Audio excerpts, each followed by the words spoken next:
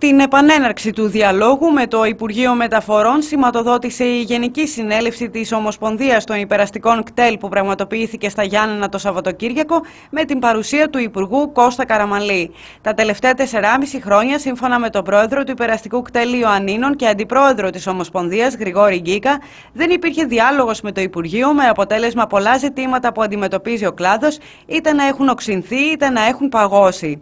Μεταξύ των σημαντικών προβλημάτων του κλάδου είναι η σύνδεση του σταθμού στον Κηφισό και ο νέος σταθμός στον Ελαιώνα, ενώ οι αυτοκινητιστές ζητούν παράλληλα μείωση του ΦΠΑ και ρυθμίσεις στα εργασιακά. Κοιτάξτε, ε, κάθε χρόνο η Ομοσπονδία των Υπεραστικών Λεωφορείων συνηθίζει ε, να κάνει την ετήσια γενική συνέλευση σε πόλεις όπως φιλοξενήσαμε εμείς στη δική μας πόλη, όπως και σε άλλες πόλεις της Ελλάδος. Και αυτό το κάνουμε λόγω ότι εμείς τιμούμε την αποκέντρωση γιατί δεν πρέπει να είναι μόνο η Αθήνα τα κέντρα των αποφάσεων. Άρα ο δικός μας κλάδος πηγαίνει σε πολλές πόλεις της Ελλάδος έτσι ώστε να έρχονται όλοι οι σύνεδροι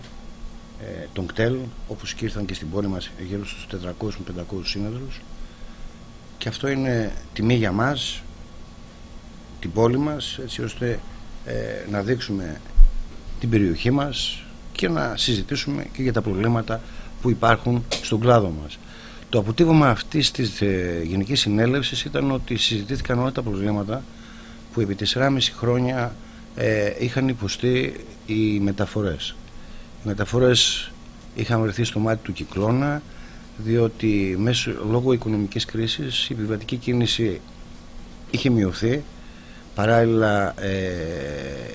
αυξήθηκαν οι φόροι όπως είναι η αύξηση του ΦΠΑ από το 13% στο 24%, ε, οι φόροι 29% με 100% προκαταβολή, φόρους επιτιδέματος, φόρους αλληλεγγύης, έτσι ώστε ε, οι αυτοκινητιστές τα τελευταία 4,5 χρόνια να μην μπορούν να αναπνεύσουν οικονομικά. Παρ' όλα αυτά, εμείς σε όλους αυτούς τους δύσκολους καιρούς δεν ε, υποβαθμίσαμε τις υπηρεσίες απέναντι στο υποβατικό κοινό, αντιθέτως ε, αναβαθμίσαμε τις υπηρεσίες. Τόσο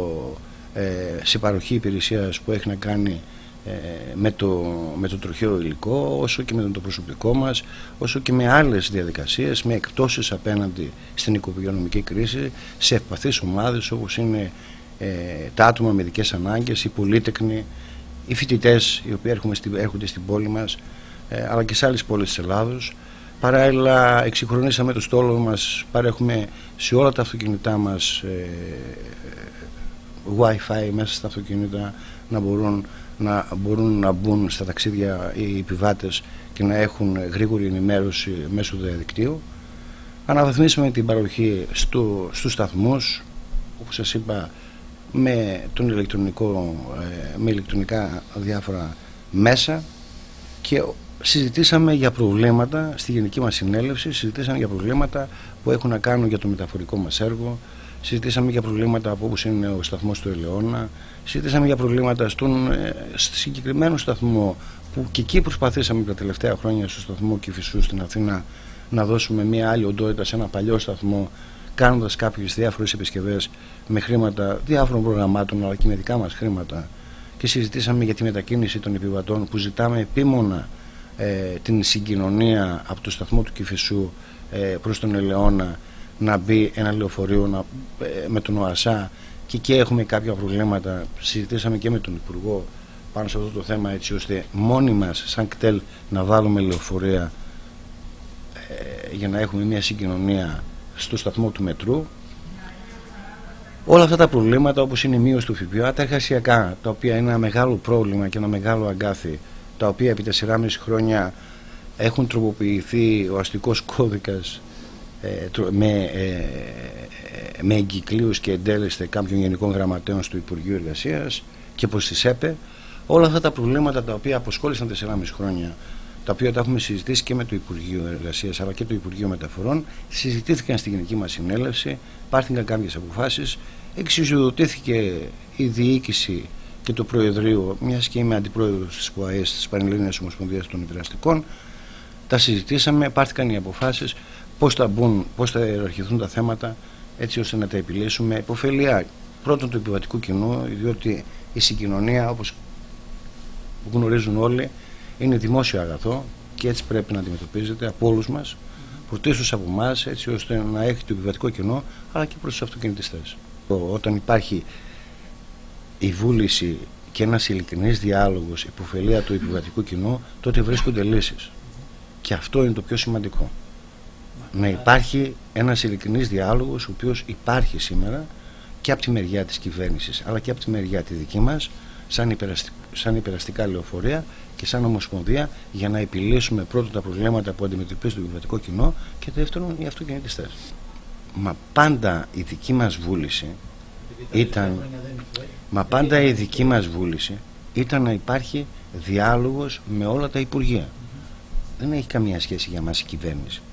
Κάθε κυβέρνηση πρέπει να έχει με τις Ομοσπονδίες έναν ειλικρινή διάλογο. Όταν διακόπτονται οι διάλογοι και οι συζητήσεις με, τις, με τα Υπουργεία και με τις Ομοσπονδίες δεν βρίσκονται λύσεις. Μονομερός δεν μπορούν να βρουν λύσεις. Τέλος, σε ό,τι αφορά το υπεραστικό κτέλιο Ανίνων, ήδη έχει προχωρήσει σε μια σειρά παρεμβάσεων για την αναβάθμιση των υπηρεσιών, όπως η εγκατάσταση Wi-Fi σε όλον τον στόλο, η έκδοση ηλεκτρονικού εισιτηρίου και η εγκατάσταση ηλεκτρονικών πινάκων για την ενημέρωση του επιβατικού κοινού σχετικά με τα δρομολόγια και την πορεία των λεωφορείων του στόλου. Σε επόμενη φάση και μέσω του προγράμματος ΕΣΠΑ που αφορά τις μεταφορές, θα προχωρήσει η αναβάθμιση των εκδοτηρίων και των λογιστικών συστημάτων που απαιτούνται. Ήδη το κτέλιο Ανίνων έχει ενταχθεί και στο ψηφιακό άλμα και στο καινούριο πρόγραμμα και αναβαθμίζουμε την παροχή υπηρεσίας στο επιβατικό κοινό. Σας είπα εδώ και δύο μήνες υπάρχει σε όλα τα λεωφορεία του κτέλιου Ανίνων Wi-Fi. Θα υπάρχει αναδιάρθρωση στο, στα εκδοτήρια. Ήδη αν θα τραβήξετε κάτω τις, ε, ακριβώς σήμερα στο σταθμό θα δείτε ότι υπάρχουν τηλεοράσεις έτσι ώστε βρίσκει ο επιβάτης και βλέπει μέσω ε, βίντεο που βρίσκονται όλα τα λεωφορεία όλων των γραμμών και θα υπάρξουν και ανακοινώσεις τι ώρα αφήκνεται κάποιο αυτοκίνητο, κάποιο λεωφορείο είτε από Αθήνα είτε από Θεσσαλονίκη ή από οποιαδήποτε άλλη πόλη και μπορεί να το βλέπει ανα πάσα στιγμή ο επιβάτης μέσω ενός βίντεο